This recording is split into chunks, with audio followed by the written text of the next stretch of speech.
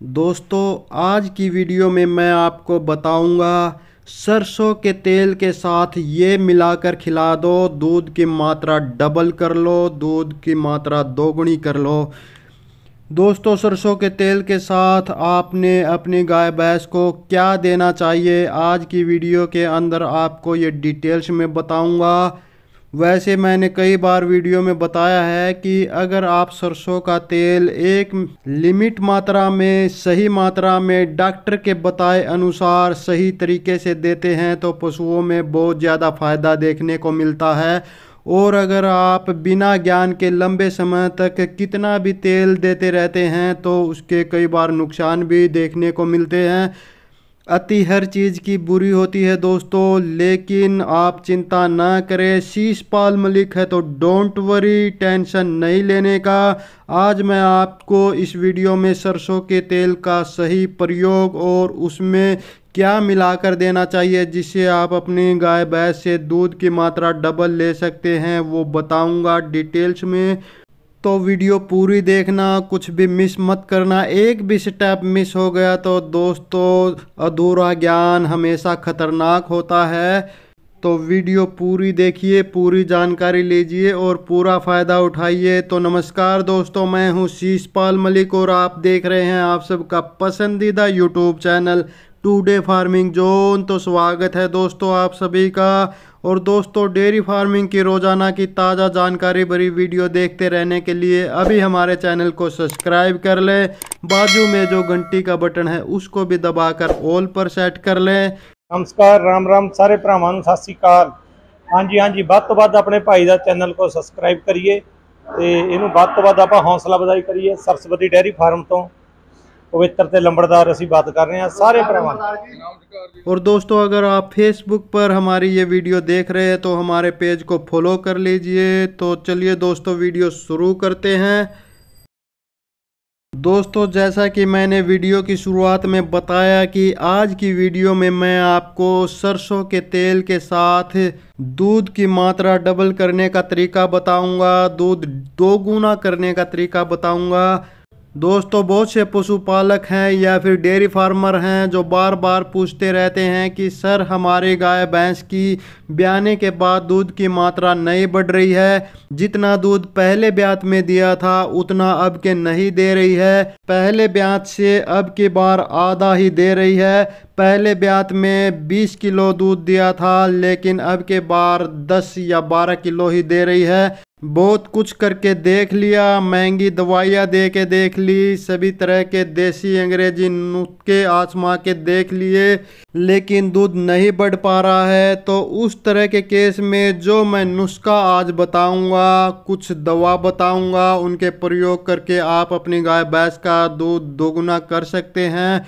तो दूध डबल लेना है तो आपने क्या करना है? आपने 100 ग्राम सरसों का तेल लेना है। अगर आपके गाय भैंस 500 केजी से ज़्यादा के वेट की है तो आप ये मात्रा डबल भी कर सकते हैं। 200 ग्राम सरसों का तेल भी ले सकते हैं।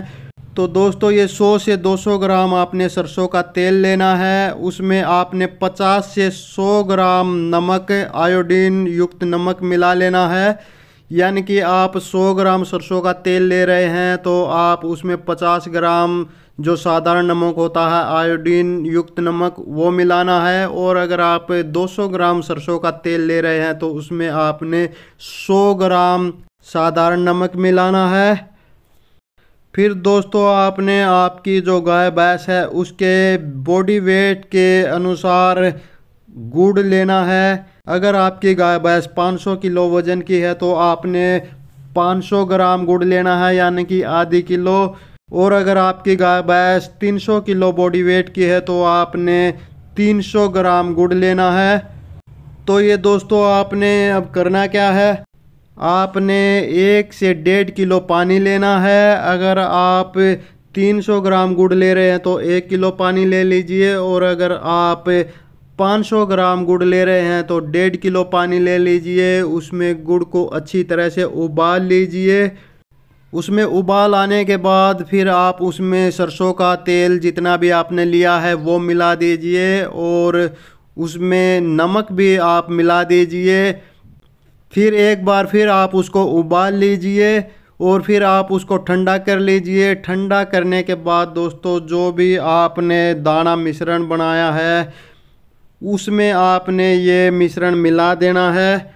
अब दूध डबल करने के लिए आपने क्या करना है? जैसे कि मैंने वीडियो की शुरुआत में बताया था कि सरसों के तेल के साथ दूध डबल लेने का तरीका बताऊँगा। तो अब दूध डबल लेने के लिए आपने क्या करना है? तो दोस्तों, ये तरीका तो आपने एक टाइम देना है। आप सुबह भी दे सकते हैं या शाम को भी दे सकते हैं। तो दूसरे टाइम आपने दूध डबल करने वाला तरीका देना है। वो कुछ दवाइयाँ हैं। तो उसमें सबसे पहले आता है केरस कंपनी का ग्लैक्टोगोग पाउडर, जो कि आप सामने स्क्रीन पर देख रहे हैं। ये एनर्जी बूस्ट करता है, पशुओं की जो रोमन संबंधी समस्याएँ होती है, उनको दूर करता है। उनके पाचन को, हाजमे को तेज करता है, जिससे दूध की मात्रा बढ़ती है। और दोस्तों, जो गाय भैंस पौसती नहीं है, जिनमें दूध की मात्रा कम रहती है, दूध नहीं बढ़ा पाती है तो उनके लिए भी ये बहुत ही फ़ायदेमंद रहता है। तो दोस्तों, ये ग्लैक्टोगोग पाउडर आपने डेली तीस ग्राम देना है और ये पंद्रह दिन तक लगातार आपने देना है। दूसरा दोस्तों, आपने इसके साथ केरस कंपनी का ही कैलपोन्ड पाउडर मिला लेना है। वो आपने 40 से 50 ग्राम डेली मिलाना है और वो भी आपने 15 दिन तक लगातार देना है। और दोस्तों, ये दोनों पाउडर आपने एक टाइम मिला लेने हैं। जैसे कि एक टाइम जो आप अपने गाय भैंस को दलिया या फिर दूसरा जो दाना मिश्रण देते हैं, उसमें आपने वो गुड़ वाला नुस्खा अपनाना है।